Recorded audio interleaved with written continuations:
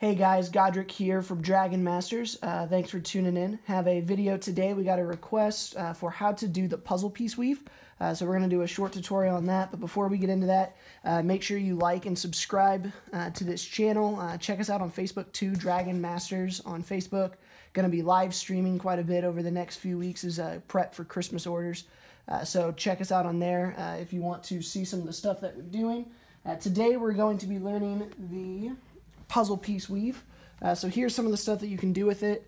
Um, we are going to be creating the puzzle piece in the middle. Um, this is a three colored one, so you can kind of see what that looks like. Um, there's a couple of other things you can do as well. This is kind of a modified one. It's a little offset, um, but you can see there. You can do it in paracord or macrame. And there's one also. This is the horizontal weave. You can also do it on the vertical weave as well, and your puzzle piece will just stay right in the middle of the belt going down. Um, you can also, if you want to, only do it on one side and not do the puzzle piece on the other. Um, and you can get some pretty interesting uh, patterns there. So to start with on this, um, you need four colors or four strands of one color and then as many as you want of the other ones for this demonstration purposes, just doing a two color one. Um, you'll notice that my strands are not set up in order. This is very important. You have to have this to do the puzzle piece weave. Um, so I've got three of one color here and then the other color and then another one of the first color. Uh, so what you're going to do to set this up, we're going to be taking the one over here on the far left of the orange and it's going to end up going underneath the blue and then we're going to do the same thing over here on the far orange. And so once we once we weave the first one through and get it set up up here, this weave is essentially just a normal weave like you've done a million times. Uh, you're just doing some fancy footwork up here at the top.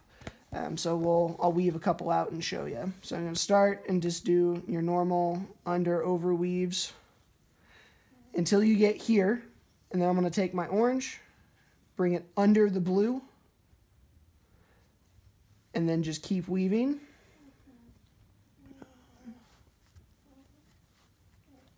Until we get here, and then do the same thing. I'm pulling my orange one underneath the blue. And then you just finish the row out like normal. And then take your next one. And then from here, if you did it right, it'll just be like a normal weave. You won't have to do anything else um, special or anything else fancy. It's just your normal under over weave once you do the very first row. Um, so we'll weave a couple out here so you can see it. Um, something to consider with this one though, um, if you are doing it on the vertical weave, um, if you're doing it where the cro or where the puzzle piece is going to stay in the middle, the puzzle piece is not symmetrical. Um, you'll see once we do it here in a minute there is a one side is a little bit bigger than the other, um, and there's nothing you can really do about it. That's just how it is.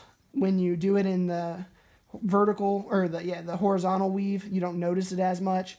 Um, it's pretty noticeable though when you do it in the horizontal weave. Weave a couple more out here so you can see it.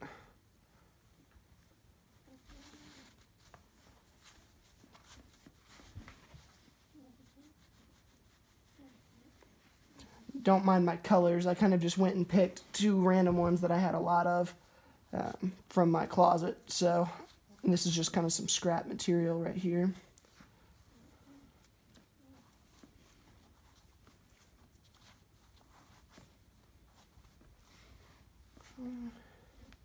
We'll do one more or two more rows, but after the next row, you'll be able to see the puzzle piece forming.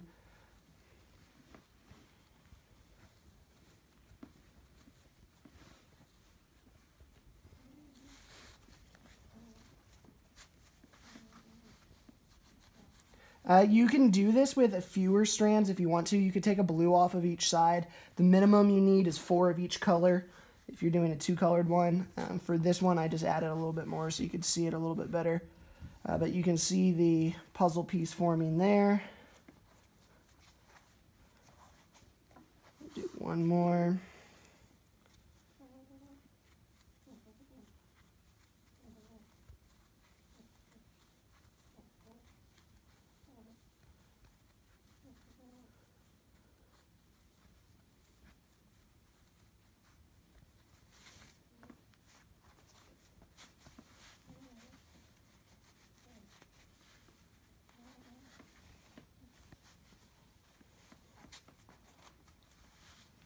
And there you have it. There's the puzzle piece weave.